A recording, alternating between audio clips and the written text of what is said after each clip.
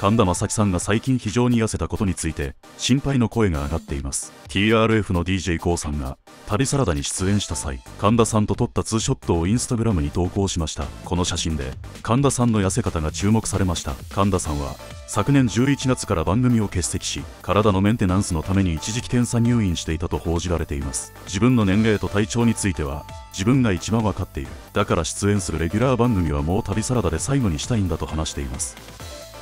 病気だったんやろ。これでも前よりマシだと思う。芸能人は若い人が多いだけで世間の73なんてこんなもんじゃないの？生きろ。痩せているけど思ったより元気そうで嬉しい。何があったんだこれ？むしろ元気そうに見える。良いんだよこれはこれで。髪を染めたら若く見えるのに。金髪グラさんの例に絡まれとるやないか。